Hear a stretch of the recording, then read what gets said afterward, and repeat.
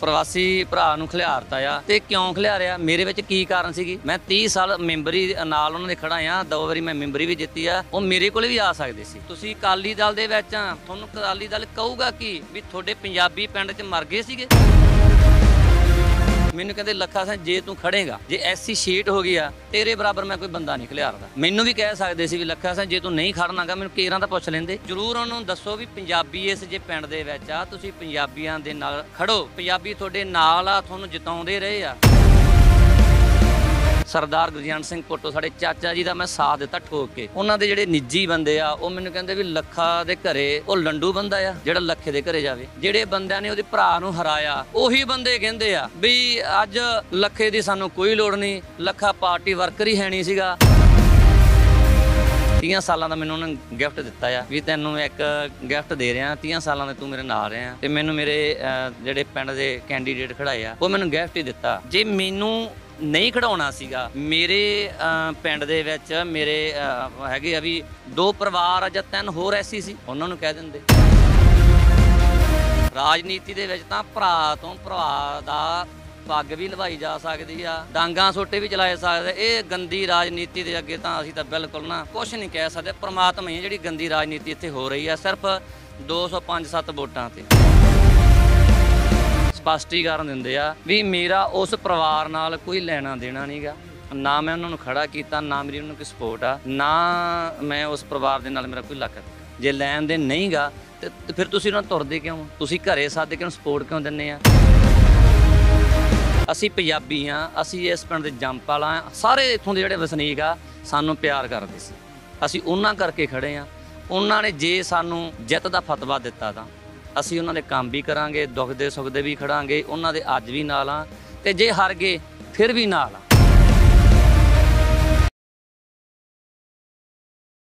ਭਾਈ ਲੱਖਾ ਆ ਜਿਹੜਾ ਉਸ ਪ੍ਰਵਾਸੀ ਵੀਰ ਦੇ ਖਿਲਾਫ ਜਿਹੜਾ ਚੋਣ ਲੜ ਰਿਹਾ, ਜਿਨ੍ਹਾਂ ਨੂੰ ਇਸ ਧੜੇ ਦੇ ਵੱਲੋਂ ਜਿਹੜਾ ਖੜਾ ਕੀਤਾ ਗਿਆ ਬਾਈ ਕੀ ਮਹਿਸੂਸ ਕਰਦੇ ਹੋ? ਪੰਜਾਬ ਦੇ ਵਿੱਚ ਆਪਣੇ ਪਿੰਡ ਦੇ ਵਿੱਚ ਰਹਿ ਕੇ ਇੱਕ ਪ੍ਰਵਾਸੀ ਦੇ ਖਿਲਾਫ ਲੜਨਾ ਪੈ ਰਿਹਾ, ਜਿਵੇਂ ਇਲਜ਼ਾਮ ਵੀ ਲੱਗਦੇ ਨੇ ਕਿ ਪੰਜਾਬੀ ਦਾ ਹੀ ਥਾਪੜਾ ਮਿਲਿਆ ਹੋਇਆ। ਦੇਖੋ ਜੀ ਪਹਿਲੀ ਤਾਂ ਗੱਲ ਇਹ ਆ ਵੀ ਜਿਨ੍ਹਾਂ ਨੇ ਉਸ ਪ੍ਰਵਾਸੀ ਵੀਰ ਨੂੰ ਆ ਮੇਰੇ ਵਿਰੁੱਧ ਖੜਾ ਕੀਤਾ ਆ ਹੂੰ। ਮੈਂ ਉਸੇ ਪੰਜਾਬੀ ਅਹ, ਪਰਿਵਾਰ ਦੇ ਨਾਲ ਮੇਰਾ ਬਹੁਤ ਪਿਆਰ ਆ ਰਾਇਬਤਾ ਸੀਗਾ ਮੈਂ ਅਕਾਲੀ ਦਲ ਦੇ ਵਿੱਚ ਪਿਛਲੇ 30 ਸਾਲ ਤੋਂ ਉਹਨਾਂ ਦੇ ਨਾਲ ਸੀਗਾ ਹੂੰ। ਸਰਦਾਰ ਗੁਰਜੰਟ ਸਿੰਘ ਭੁੱਟੋ ਦੇ ਹੂੰ। ਸਾਡੇ ਚਾਚਾ ਜੀ ਲੱਗਦੇ ਆ ਹੂੰ। ਤੇ ਮੈਂ ਦੋ ਵਾਰ ਮੈਂਬਰੀ ਵੀ ਉਹਨਾਂ ਦੇ ਅਹ, ਮਤਲਬ ਕਿ ਅਹ, ਪਾਰਟੀ ਚੋਂ ਹਨਾ ਜਿੱਤਿਆ ਵਾਂ ਹੂੰ। ਤੇ ਮੈਨੂੰ ਇਹ ਗੱਲ ਦਾ ਬੜਾ ਦੁੱਖ ਆਉਂਦਾ ਵੀ ਮੇਰੇ ਖਿਲਾਫ ਹੀ ਕਿਉਂ। ਕਿਉਂਕਿ ਮੈਂ ਤਾਂ 30 ਸਾਲ ਨਾਲ ਰਿਹਾ। ਕੋਈ ਕਮੀ ਕੱਢ ਦਿੰਦੇ। ਤੇ ਮੈਂ ਉਹਨਾਂ ਨੇ ਮੈਨੂੰ ਕਾਲ ਜ਼ਰੂਰ ਕੀਤੀ ਸੀ। ਮੈਨੂੰ ਕਹਿੰਦੇ ਵੀ ਆਹ ਗੱਲ ਆਈ ਮੈਂ ਕਿਹਾ ਵੀ ਮੇਰਾ ਮਨ ਨਹੀਂ। ਉਹ ਮੇਰਾ ਮਨ ਇਸ ਕਰਕੇ ਮੈਂ ਉਹਨਾਂ ਨੂੰ ਕਿਹਾ ਮੈਂ ਪਿਛਲੇ 5 ਸਾਲ ਜਦੋਂ ਸਾਡੇ ਵੀਰ ਹੈਪੀ ਨੇ ਸਰਪੰਚੀ ਜਿੱਤੀ ਆ ਤੇ ਅਸੀਂ ਮੈਂਬਰ ਬਣੇ ਸੀਗੇ। ਇਸੇ ਧਰ ਵੱਲੋਂ। ਅਕਾਲੀ ਦਲ ਵੱਲੋਂ। ਇਹਨਾਂ ਨੇ ਸਾਨੂੰ ਗੁਰਦੁਆਰਾ ਸਾਹਿਬ ਲਿਜਾ ਕੇ ਨਵਾ ਕੇ ਕਹਿੰਦੇ ਨਹਾ ਕੇ ਚਲੋ ਆਪਾਂ ਨੂੰ ਕੰਮ ਆ। ਮੈਂ ਕਿਹਾ ਦੱਸੋ ਕਹਿੰਦੇ ਨਹੀਂ ਆ ਗੱਡੀ 'ਚ ਬੈਠੋ ਆਪਾਂ ਚੱਲਦੇ ਆ। ਸਾਨੂੰ ਗੁਰਦੁਆਰਾ ਬਾਬਾ ਜਨਮ ਸਥਾਨ ਤੇ ਰੋਡੇ ਪਿੰਡ। ਉੱਥੇ ਲੈ ਕੇ ਗਏ ਆ। ਸੌਂ ਖਵਾਈ ਆ ਸਾਨੂੰ। ਵੀ ਤੁਸੀਂ ਉਸ ਪਾਰਟੀ ਦਾ ਉਸ ਸਰਪੰਚ ਦਾ ਸਾਥ ਨਹੀਂ ਦੇਣਾਗਾ। ਉਹਨਾਂ ਦੇ ਕੋਈ ਕੰਮ ਨਹੀਂ ਆਪਾਂ ਹੋਣ ਦੇਣੇ। ਜਦੋਂ ਮੈਨੂੰ ਇਹੋ ਜਿਹੀਆਂ ਪਹਿਲਾਂ ਹੀ ਗੱਲਾਂ ਮੇਰੇ ਨਾਲ ਹੋਈਆਂ ਤੇ ਮੈਂ ਮਹਿਸੂਸ ਕੀਤਾ ਵੀ ਮੇਰਾ ਮਨ ਨਹੀਂਗਾ ਮੈਨੂੰ ਨਹੀਂ ਖੜਨਾ ਚਾਹੀਦਾ। ਤੇ ਫਿਰ ਮੈਂ ਚਲੋ ਮੇਰੇ ਸਿਸਟਰ ਸੀਗੇ ਸਰਪੰਚ ਬਣੇ ਸੀ ਸਾਡੇ ਆਏ ਹੋਏ ਸੀਗੇ ਮਿਲਣ ਵਾਸਤੇ ਤੇ ਉਹਨਾਂ ਨੂੰ ਮੈਂ ਜਦੋਂ ਗੱਲ ਕੀਤੀ ਮੈਨੂੰ ਕੀ ਹੈ ਕਿਹਦਾ ਫੋਨ ਸੀ ਮੈਂ ਕਿਹਾ ਇਹ ਸਰਦਾਰ ਗੁਰਜੰਟ ਸਿੰਘ ਭੁੱਟੋ ਮੇਰੇ ਚਾਚਾ ਜੀ ਦਾ ਸੀ ਉਹ ਕਹਿੰਦੇ ਕੀ ਕਹਿੰਦੇ ਉਹ ਕਹਿੰਦੇ ਵੀ ਐਸੀ ਸੀਟ ਹੋ ਗਈ ਆ ਵੀ ਤੈਨੂੰ ਖੜਨਾ ਚਾਹੀਦਾ। ਮੈਂ ਕਿਹਾ ਵੀ ਜਦੋਂ ਮੇਰੇ ਨਾਲ ਪਿਛਲੀ ਵਾਰੀ ਆਹ ਕੰਮ ਹੋ ਗਿਆ। ਮੇਰਾ ਮਨ ਨਹੀਂਗਾ। ਤੇ ਮੇਰੀ ਸਿਸਟਰ ਕਹਿੰਦੀ ਕੋਈ ਗੱਲ ਨਹੀਂ ਅਸੀਂ ਵੀ ਸਰਪੰਚੀ ਕੀਤੀ ਆ ਤੈਨੂੰ ਕਰਨੀ ਚਾਹੀਦੀ ਆ ਐਸੀ ਸ਼ੀਟ ਆ ਇਹ ਵਾਰ-ਵਾਰ ਨਹੀਂ ਹੂੰ। ਮੈਂ ਕਿਹਾ ਮੇਰਾ ਮਨ ਉਹ ਕਹਿੰਦੇ ਨਹੀਂ ਤੇਰਾ ਮਨ ਅਸੀਂ ਬਣਾਵਾਂਗੇ। ਤੂੰ ਖੜ। ਜਦੋਂ ਤੇਰਾ ਹਰ ਪਰਿਵਾਰ ਨਾਲ ਪਿੰਡ ਦੇ ਵਿੱਚ ਸਾਥ ਆ, ਤੇਰਾ ਪਿਆਰ ਆ, ਲੋਕ ਤੈਨੂੰ ਪਿਆਰ ਕਰਦੇ ਆ, ਤੇਰਾ ਲੋਕਾਂ ਨਾਲ ਵਧੀਆ ਰਾਬਤਾ ਹੈਗਾ ਆ ਹੂੰ। ਤੇ ਤੂੰ ਇਦਾਂ ਕਰ ਚਾਹ ਪੀ, ਮੇਰਾ ਵੀਰ, ਤੇ ਲੋਕਾਂ ਨੂੰ ਕਹਿ ਕੇ ਆ ਵੀ ਮੈਂ ਐਸੀ ਸੀਟ ਦੀ ਚੋਣ ਲੜ ਰਿਹਾ ਚਲੋ ਮੈਂ ਹਰ ਘਰ ਦੇ ਵਿੱਚ ਗਿਆ, ਹਰ ਪਰਿਵਾਰ ਨੂੰ ਮਿਲਿਆ, ਮੇਰਾ ਹਰ ਪਰਿਵਾਰ ਨੇ, ਹਰ ਘਰ ਨੇ ਮੇਰਾ ਵਧੀਆ ਸਾਥ ਦਿੱਤਾ ਹੂੰ। ਤੇ ਇਹਨਾਂ ਨੇ ਇਹ ਵੀ ਮੈਨੂੰ ਕਿਹਾ ਵੀ ਚਲੋ ਅਸੀਂ ਤੈਨੂੰ ਜਿਤਾਵਾਂਗੇ ਚਲੋ ਜਦੋਂ ਮੈਂ ਹੌਲੀ ਹੌਲੀ ਆਪਣੇ ਘਰਾਂ 'ਚ ਕਹਿੰਦਾ ਕਹਿੰਦਾ ਜਦੋਂ ਮੈਂ ਘਰ ਵਾਪਸ ਆਇਆ ਤੇ ਮੈਨੂੰ ਇੱਕ ਕਾਲ ਆਉਂਦੀ ਮੈਨੂੰ ਕਹਿੰਦੇ ਲੱਖਾ ਸਿੰਘ ਕੀ ਹਾਲ? ਮੈਂ ਕਿਹਾ ਹਾਂਜੀ ਠੀਕ ਆ। ਕਹਿੰਦੇ ਕੀ ਕਰਦਾ ਫਿਰਦਾ? ਮੈਂ ਕਿਹਾ ਵੀ ਚਲੋ ਪ੍ਰਮਾਤਮਾ ਨੇ ਗਿਫਟ ਦਿੱਤਾ ਆ। ਤੇ ਅਸੀਂ ਮੈਂ ਇਸ ਗਿਫਟ ਨੂੰ ਇਹ ਕਿਹਾ ਵੀ ਅਸੀਂ ਵੋਟਾਂ ਕਹਿੰਦੇ ਫਿਰਦੇ ਆ। ਐਸੀ ਸ਼ੀਟ ਹੋ ਗਈ ਆ ਤੇ ਸਾਰਿਆਂ ਨੇ ਮੈਨੂੰ ਬੜਾ ਸਤਿਕਾਰ ਦਿੱਤਾ ਆ। ਕਹਿੰਦੇ ਕਹਿੰਦਾ ਤਾਂ ਫਿਰਦਾ ਵੀ ਤੇਰੇ ਖਿਲਾਫ ਤਾਂ। ਇੱਕ ਕੈਂਡੀਡੇਟ ਹੋਰ ਖੜਾ ਹੋ ਗਿਆ ਪ੍ਰਵਾਸੀ ਸਰਦਾਰ ਆਪਣਾ ਕਹਿ ਦਈਏ ਬ੍ਰਿਜ ਵੀਰ ਨੂੰ ਵੀ ਉਹਨਾਂ ਦੇ ਪਰਿਵਾਰ ਚੋਂ ਉਹਨਾਂ ਦੀ ਜਿਹੜੀ ਨੌਂ ਆ ਉਹ ਖੜੀ ਕਰਤੀ ਆ। ਮੈਂ ਕਿਹਾ ਵੀ ਮੈਨੂੰ ਇਸ ਬਾਰੇ ਨਹੀਂ ਪਤਾ ਕਹਿੰਦੇ ਨਹੀਂ ਪਤਾ ਕਰ। ਜਦੋਂ ਪਤਾ ਕੀਤਾ ਕਹਿੰਦੇ ਵੀ ਮਤਲਬ ਕਿ ਜਦੋਂ ਬ੍ਰਿਜ ਲਾਲ ਦੀ ਨੌਂ ਖੜੀ ਹੋ ਗਈ ਤੇਰੇ ਖਿਲਾਫ ਤੇ ਮੈਂ ਕਿਹਾ ਵੀ ਖੜੀ ਕਿਹਨੇ ਕੀਤੀ ਆ ਕਹਿੰਦੇ ਇਹਦੇ ਬਾਰੇ ਤੈਨੂੰ ਆਪੇ ਪਤਾ ਲੱਗ ਜੂਗਾ ਚਲੋ ਹੌਲੀ ਹੌਲੀ ਜਦੋਂ ਗੱਲਾਂ ਕਰਦੇ ਕਰਦੇ ਉਹ ਘਰਾਂ 'ਚ ਕਹਿਣ ਜਾਂਦੇ ਆ ਪਹਿਲਾਂ ਤਾਂ ਕਹਿੰਦੇ ਅਸੀਂ ਆਜ਼ਾਦ ਖੜੇ ਆ। ਜਦੋਂ ਆਜ਼ਾਦ ਖੜੇ ਉਹ ਕਹਿੰਦੇ ਤੁਹਾਡੇ ਨਾਲ ਕੌਣ ਆ? ਜਾਂ ਤੁਹਾਨੂੰ ਕੋਈ ਸਪੋਰਟ ਹੋਊਗੀ। ਉਹ ਕਹਿੰਦੇ ਸਾਡੀ ਸਪੋਰਟ ਕਰ ਰਿਹਾ ਸਰਦਾਰ ਗੁਰਜੰਟ ਸਿੰਘ ਪੁੱਟੋ। ਤੇ ਮੈਨੂੰ ਬੜਾ ਦੁੱਖ ਲੱਗਾ। ਫਿਰ ਚਲੋ ਇੱਕ ਗੱਲ ਇਹ ਵੀ ਆਉਂਦੀ ਆ ਵੀ ਕਹਿੰਦੇ ਲੱਖੇ ਸਧਾਣੇ ਨੇ ਸੰਤਾਂ ਦਾ ਅਮਲ ਨਾਂ ਲੈ ਕੇ ਪ੍ਰਵਾਸੀ ਵੀਰ ਨੂੰ ਇਦਾਂ ਕਿਦਾਂ ਕਿਹਾ।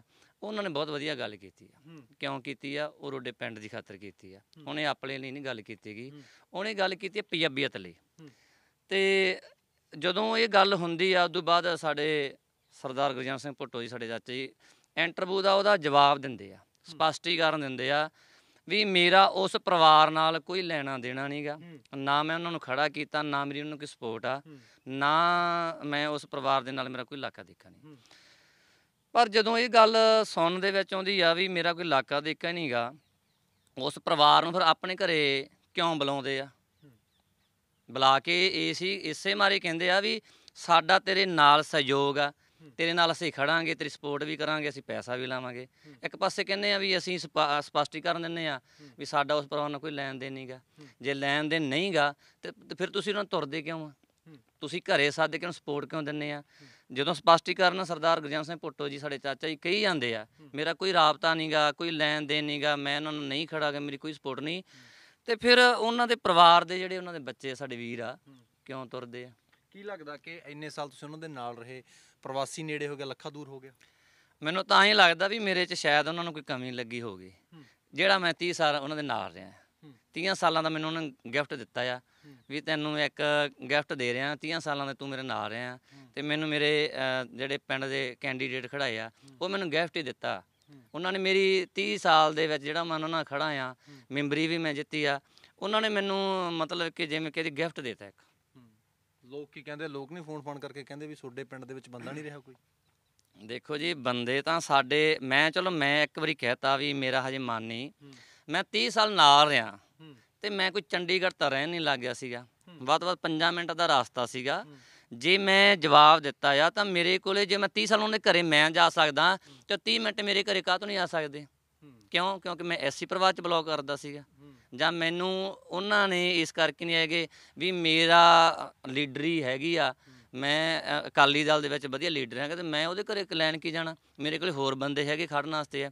ਜੇ ਮੈਨੂੰ ਨਹੀਂ ਖੜਾਉਣਾ ਸੀਗਾ ਜਾਂ ਮੈਂ ਨਹੀਂ ਗਿਆ ਸੀ ਮੇਰੇ ਪਿੰਡ ਦੇ ਵਿੱਚ ਮੇਰੇ ਹੈਗੇ ਆ ਵੀ ਦੋ ਪਰਿਵਾਰ ਜਾਂ ਤਿੰਨ ਹੋਰ ਐਸੀ ਸੀ। ਉਹਨਾਂ ਨੂੰ ਕਹਿ ਦਿੰਦੇ ਵੀ ਚੱਲ ਲੱਖੇ ਨੇ ਜਵਾਬ ਦਿੱਤਾ ਤੁਸੀਂ ਆ ਜਾਓ। ਜੇ ਮੈਂ ਜਵਾਬ ਤਾਂ ਇਸੇ ਕਰਕੇ ਦਿੱਤਾ ਸੀਗਾ ਮੇਰੇ ਤੇ ਆਹ ਜਿਹੜੇ ਪਹਿਲਾਂ ਦੇ 5 ਸਾਲ ਮੈਨੂੰ ਉਹਨਾਂ ਝੂਠੀ ਸਹੁੰ ਖਵਾਤੀ ਤੁਸੀਂ ਜਾਣਾ ਹੀ ਨਹੀਂਗਾ ਮੇਰੇ ਘਰੇ ਵੀ ਆ ਸਕਦੇ ਸੀ। ਮੇਰੇ ਮਾਂ ਨੂੰ ਮੇਰੇ ਸਿਸਟਰਾਂ ਨੂੰ ਮੇਰੇ ਬ੍ਰਦਰ ਨੂੰ ਮੇਰੀ ਭਰਜਾਈ ਨੂੰ ਮੇਰੀ ਘਰਵਾਲੀ ਨੂੰ ਕਹਿ ਸਕਦੇ ਸੀ ਵੀ ਇੱਕ ਪਾਸੇ ਤਾਂ ਮੈਨੂੰ ਕਹਿੰਦੇ ਵੀ ਤੂੰ ਸਾਡਾ ਪੁਰਾਣਾ ਵਰਕਰ ਆ। ਤੇ ਪਿਛਲੇ 2 ਸਾਲ ਜਦੋਂ ਪਹਿਲਾਂ ਮਤਲਬ ਕਿ ਸਰਪੰਚ ਦੀਆਂ ਵੋਟਾਂ ਆਈਆਂ ਸੀਗੀਆਂ ਮੈਨੂੰ ਕਹਿੰਦੇ ਲੱਖਾ ਸਿੰਘ ਜੇ ਤੂੰ ਖੜੇਗਾ ਜੇ ਐਸੀ ਸ਼ੀਟ ਹੋ ਗਈ ਆ ਤੇਰੇ ਬਰਾਬਰ ਮੈਂ ਕੋਈ ਬੰਦਾ ਨਹੀਂ ਖਿਲਾਰਦਾ। ਇਹ ਮੈਂ ਸਪਸ਼ਟੀਕਰਨ ਆਪਦੇ ਵੱਲੋਂ ਵੀ ਦਿੰਦਾ ਆ ਉਹ ਤਾਂ ਕਹਿੰਦੇ ਨੇ, ਲੱਖ ਨੇ ਸਾਡੇ ਨਾਲ ਰੈਬਤਾ ਕੰਮ ਨਹੀਂ ਕੀਤਾਗਾ। ਸਾਨੂੰ ਅਸੀਂ ਉਹਨਾਂ ਨੂੰ ਜਵਾਬ ਮੰਗਿਆ ਸੀ, ਉਹਨਾਂ ਨੇ ਦਿੱਤਾ ਨਹੀਂ 26 ਤਰੀਕ ਨੂੰ ਮੈਨੂੰ ਕਾਲ ਆਈ ਆ। 26 ਤਰੀਕ ਦੀ ਕਾਲ ਦੇ ਵਿੱਚ 4 ਤਰੀਕ ਬਹੁਤ ਟਾਈਮ ਹੁੰਦਾ ਵਿੱਚ, ਹਫਤਾ ਹੋ ਗਿਆ। ਹਫ਼ਤੇ ਦੇ ਵਿੱਚ ਮੈਨੂੰ ਇੱਕ ਵਾਰੀ ਕਹਿ ਸਕਦੇ ਸੀ। ਜਦੋਂ ਤੁਹਾਨੂੰ ਪਤਾ ਲੱਗਿਆ ਵੀ ਪ੍ਰਵਾਸੀ ਉਹਨਾਂ ਦੇ ਵੱਲੋਂ ਖੜਾ ਕੀਤਾ ਕਿ ਤੁਸੀਂ ਨਹੀਂ ਗਏ, ਉਸ ਵਾਰ ਪੁੱਛਣ ਵੀ ਭਾਈ ਐਡਾ ਕੀ ਗੁਨਾਹ ਹੋ ਗਿਆ, ਮੈਥੋਂ ਵੀ ਮੇਰੇ ਖਿਲਾਫ ਤੁਸੀਂ ਇੱਕ ਪ੍ਰਵਾਸੀ ਖੜਾ ਕਰ ਰਹੇ ਹੋ। ਦੇਖੋ ਜੀ ਮੈਂ ਪੁੱਛਣਾ ਨਹੀਂ ਚਾਹੁੰਦਾ ਸੀਗਾ ਕਿਉਂਕਿ ਮੈਨੂੰ ਇਸ ਇੱਕ ਇਹ ਇਹ ਕਰਕੇ ਲੱਗਿਆ ਵੀ ਮੈਂ ਕਿਹਾ ਵੀ ਜਦੋਂ ਮੈਂ 30 ਸਾਲ ਉਹਨਾਂ ਦੇ ਨਾਲ ਰਿਹਾ ਆ ਪ੍ਰਵਾਸੀ ਭਰਾ ਨੂੰ ਖਿਲਾਰਤਾ ਆ ਤੇ ਕਿਉਂ ਖਿਲਾਰਿਆ ਮੇਰੇ ਵਿੱਚ ਕੀ ਕਾਰਨ ਸੀਗੀ ਉਹ ਮੇਰੇ ਕੋਲੇ ਵੀ ਆ ਸਕਦੇ ਸੀ। ਮੈਨੂੰ ਵੀ ਕਹਿ ਸਕਦੇ ਸੀ ਵੀ ਲੱਖਾ ਸਿੰਘ, ਜੇ ਤੂੰ ਨਹੀਂ ਖੜਨਾਗਾ ਮੈਨੂੰ ਕੇਰਾਂ ਤਾਂ ਪੁੱਛ ਲੈਂਦੇ। ਮੈਂ 30 ਸਾਲ ਮੈਂਬਰੀ ਨਾਲ ਉਹਨਾਂ ਦੇ ਖੜਾ ਆ, ਦੋ ਵਾਰੀ ਮੈਂ ਮੈਂਬਰੀ ਵੀ ਜਿੱਤੀ ਆ। ਮੈਨੂੰ ਕੋਈ ਘਾਟ ਤਾਂ ਦੱਸ ਦੇ, ਜੇ ਤੂੰ ਬਈ ਜਵਾਬ ਦਿੱਤਾ ਆ, ਅਸੀਂ ਤਾਂ ਖਿਲਾਰਿਆ ਕੋਈ ਇੱਕ ਬੰਦਾ ਲਿਆਉਂਦੇ, ਕੋਈ ਦੋ ਬੰਦੇ ਲਿਆਉਂਦੇ, ਮੈਨੂੰ ਮਜਬੂਰ ਕਰਦੇ, ਮੇਰੇ ਮਾਪਿਆਂ ਨੂੰ ਕਹਿੰਦੇ ਵੀ ਲੱਖਾ ਵਧੀਆ ਬੰਦਾ ਵਾ, ਅਸੀਂ ਇਹਨੂੰ ਖਿਲਾਰਨਾ ਚਾਹੁੰਦੇ, ਇਹ ਖੜਦਾ ਕਦੋਂ ਨਹੀਂ ਤੁਸੀਂ ਇਹਨੂੰ ਕਹੋ। ਜੇ ਇਸ ਕਰਕੇ ਫਿਰ ਉਹਨਾਂ ਦੇ ਪਾਰਟੀ ਦੇ ਵਿੱਚੋਂ ਹੀ ਉਹਨਾਂ ਦੇ ਜਿਹੜੇ ਨਿੱਜੀ ਬੰਦੇ ਆ ਉਹ ਮੈਨੂੰ ਕਹਿੰਦੇ ਵੀ ਲੱਖਾ ਦੇ ਘਰੇ ਸਰਦਾਰ ਗੁਰਜੰਟ ਸਿੰਘ ਭੁੱਟੋ ਸਾਡੇ ਚਾਚਾ ਜੀ ਉਹ ਲੰਡੂ ਬੰਦਾ ਆ ਜਿਹੜਾ ਲੱਖੇ ਦੇ ਘਰੇ ਜਾਵੇ। ਜਿਹੜਾ ਬੰਦਾ 30 ਸਾਲ ਨਾਲ ਰਿਹਾ ਹਰ ਟਾਈਮ ਨੂੰ ਵੋਟਾਂ ਪਾਈਆਂ। ਮਤਲਬ ਕਿ ਮੇਰੇ ਤਾਂ ਸਹੁੰ ਵੀ ਖਾ ਸਕਦਾ ਆ ਵੀ ਇਹ ਬੰਦੇ ਨੇ ਮੈਨੂੰ ਵੋਟ ਪਾਈ ਪਾਈ ਆ ਵੀ ਇਹਨੇ ਕਦੇ ਨਹੀਂ ਮੈਨੂੰ ਕਿਹਾ ਵੀ ਮੈਂ ਤੈਨੂੰ ਵੋਟ ਨਹੀਂ ਪਾਈਗੀ। ਜਿਹੜੇ ਬੰਦਿਆਂ ਨੇ ਵੋਟਾਂ ਨਹੀਂ ਪਾਈਆਂ ਜਿਹੜੇ ਬੰਦਿਆਂ ਨੇ ਉਹਦੇ ਭਰਾ ਨੂੰ ਹਰਾਇਆ ਉਹੀ ਬੰਦੇ ਕਹਿੰਦੇ ਆ ਵੀ ਅੱਜ ਲੱਖੇ ਦੀ ਸਾਨੂੰ ਕੋਈ ਲੋੜ ਨਹੀਂ। ਲੱਖਾ ਪਾਰਟੀ ਵਰਕਰ ਹੀ ਹੈ ਨਹੀਂ ਸੀਗਾ। ਲੱਖੇ ਨੇ ਹਰੇਕ ਟਾਈਮ ਸਰਦਾਰ ਗੁਰਜੰਟ ਸਿੰਘ ਪੁੱਟੋ ਸਾਡੇ ਚਾਚਾ ਜੀ ਦਾ ਮੈਂ ਸਾਥ ਦਿੱਤਾ ਠੋਕ ਕੇ। ਤੁਹਾਨੂੰ ਕੀ ਲੱਗਦਾ ਵੀ ਇੱਕ ਪ੍ਰਵਾਸੀ ਪਿੰਡ ਦੀ ਨਬਜ਼ ਨੂੰ ਸਮਝ ਸਕਦਾ ਜਾਂ ਪੰਜਾਬੀਆਂ ਦੀ ਨਬਜ਼ ਨੂੰ ਸਮਝ ਸਕਦਾ ਜੇ ਉਹ ਸਰਪੰਚ ਬਣਦਾ? ਦੇਖੋ ਜੀ ਜੇ ਇਸ ਵਿਸ਼ੇ ਤੇ ਮੈਂ ਆਵਾਂ ਇਹ ਤਾਂ ਮੈਂ ਸਭ ਤੋਂ ਪਹਿਲਾਂ ਸਰਦਾਰ ਗੁਰਜੰਟ ਸਿੰਘ ਭੁੱਟੋ ਸਾਡੇ ਚਾਚਾ ਜੀ ਨੂੰ ਜਵਾਬ ਪੁੱਛੂੰਗਾ। ਵੀ ਤੁਹਾਨੂੰ ਕਿਵੇਂ ਲੱਗਿਆ? ਤੁਸੀਂ ਕਿਹੜੇ ਬੇਸ ਤੇ ਉਹਨਾਂ ਨੂੰ ਖਿਲਾਰਤਾ? ਜੇ ਤਾਂ ਖਿਲਾਰਿਆ ਆ, ਸ਼ਾਇਦ ਉਹਨਾਂ ਨੂੰ ਜ਼ਿਆਦਾ ਪਤਾ ਹੋਊਗਾ ਵੀ ਉਹਨਾਂ ਦੇ ਵਿੱਚ ਉਹਨਾਂ ਨੂੰ ਕੋਈ ਚੰਗੀ ਚੀਜ਼ ਦੇਖ ਲਈ ਹੋਗੀ ਅਸੀਂ ਪੰਜਾਬੀ ਆ, ਅਸੀਂ ਇਸ ਪਿੰਡ ਦੇ ਜੰਪਾਲ ਆ, ਸਾਨੂੰ ਹਰ ਬੱਚਾ, ਹਰ ਬਜ਼ੁਰਗ, ਹਰ ਭੈਣ, ਹਰ ਭਰਾ, ਹਰ ਸਾਰੇ ਇੱਥੋਂ ਦੇ ਜਿਹੜੇ ਵਸਨੀਕ ਆ, ਸਾਨੂੰ ਪਿਆਰ ਕਰਦੇ ਸੀ। ਅਸੀਂ ਉਹਨਾਂ ਕਰਕੇ ਖੜੇ ਆ। ਉਹਨਾਂ ਨੇ ਜੇ ਸਾਨੂੰ ਜਿੱਤ ਦਾ ਫਤਵਾ ਦਿੱਤਾ ਤਾਂ ਅਸੀਂ ਉਹਨਾਂ ਦੇ ਕੰਮ ਵੀ ਕਰਾਂਗੇ, ਦੁੱਖ ਦੇ ਸੁੱਖ ਦੇ ਵੀ ਖੜਾਂਗੇ, ਉਹਨਾਂ ਦੇ ਅੱਜ ਵੀ ਨਾਲ ਆ ਤੇ ਜੇ ਹਾਰ ਗਏ, ਫਿਰ ਵੀ ਨਾਲ ਆ। ਪਰ ਇਹਦਾ ਸਿਹਰਾ ਅਸੀਂ ਸਰਦਾਰ ਗੁਰਜੰਟ ਸਿੰਘ ਭੁੱਟੋ ਨੂੰ ਕਹਾਂਗੇ ਵੀ ਜੇ ਤੁਸੀਂ ਪ੍ਰਵਾਸੀ ਦੀ ਮਦਦ ਕੀਤੀ ਹੈ ਇਹ ਤੁਹਾਡੇ ਲਈ ਬਹੁਤ ਸ਼ਾਬਾਸ਼ ਹੈ। ਤਸਵੀਰ ਵੀ ਲੱਗੀ ਤੁਹਾਨੂੰ ਕੀ ਲੱਗਦਾ? ਜਿਵੇਂ ਬਾਈ ਹੋਰਾਂ ਨੇ ਵੀ ਕਿਹਾ ਕਿ ਤਸਵੀਰਾਂ ਤਾਂ ਦਿਨਾਂ ਦੇ ਵਿੱਚ ਹੀ ਲੱਗ ਜਾਂਦੀਆਂ ਉਹ ਕਹਿੰਦੇ ਤਸਵੀਰ ਉਹਨਾਂ ਦੇ ਘਰ ਦੇ ਵਿੱਚ ਸੰਤ ਜਰਨੈਲ ਸਿੰਘ ਭਿੰਡਰਾਂ ਦੀ ਹੈ। ਦੇਖੋ ਜੀ ਇਹ ਤਾਂ ਨਾ ਘੰਟਿਆਂ ਦੇ ਵਿੱਚ ਜਾਂ ਮਿੰਟਾਂ 'ਚ। ਆਪਾਂ ਬਹੁਤ ਕੁਝ ਜਦੋਂ ਆਪਾਂ ਰਾਜਨੀਤੀ ਕਰਨੀ ਹੋਵੇ ਨਾ। ਉਦੋਂ ਬਹੁਤ ਕੁਝ ਹੋ ਜਾਂਦਾ। ਜਿੱਥੇ ਮੰਨ ਕੇ ਚੱਲੋ ਗੁਰੂਆਂ ਦੀ ਫੋਟੋ ਲੱਗੀ ਸਾਡਿਆਂ ਦੀ ਦਸਾਂ ਗੁਰੂਆਂ ਦੀ ਆ ਚਾਹੇ ਸੰਤ ਜਰਨੈਲ ਸਿੰਘ ਖਾਲਸਾ ਭਿੰਡਰਾਂ ਵਾਲੇ ਦੀ ਫੋਟੋ ਲੱਗੀ ਆ। ਉੱਥੇ ਤਾਂ ਜੇ ਮੰਨ ਕੇ ਚਲੋ ਅਸੀਂ ਉਹਨੂੰ ਚੰਗਾ ਨਾ ਸਮਝਾਂਗੇ ਮੰਨ ਲਓ। ਉੱਥੇ ਤਾਂ ਫਿਰ ਕਿਸੇ ਹੋਰ ਦੇਵੀ ਦੇਵਤਿਆਂ ਦੀ ਫੋਟੋ ਵੀ ਲੱਗ ਸਕਦੀ ਹੈ ਜੇ ਅੱਜ ਅਸੀਂ ਸੰਤ ਜਰਨੈਲ ਸਿੰਘ ਭਿੰਡਰਾਂ ਵਾਲੇ ਦੀ ਸੰਤਾਂ ਦੀ ਗੱਲ ਕਰਦੇ ਆ ਅਸੀਂ ਉਸ ਪਿੰਡ ਦੇ ਬੱਚੇ ਆ ਵਸਨੀਕ ਆ ਜੇ ਅਸੀਂ ਉਹਨਾਂ ਨੂੰ ਕਹੀਏ ਉਹਨਾਂ ਦੀਆਂ ਦੇਵੀ ਸਾਡੇ ਮਾ- ਮਤਲਬ ਹੈਗੇ ਆ ਦੇਵੀ ਦੇਵਤੇ ਹੈਗੇ ਆ ਅਸੀਂ ਉਹਨਾਂ ਦੀ ਫੋਟੋਆਂ ਵੀ ਲਾ ਸਕਦੇ ਤੇ ਲਾ ਵੀ ਸਕਦੇ ਆ। ਰਾਜਨੀਤੀ 'ਚ ਕੀ ਨਹੀਂ ਹੋ ਸਕਦਾ। ਬਹੁਤ ਕੁਝ ਹੋ ਸਕਦਾ ਜੀ ਇੱਥੇ।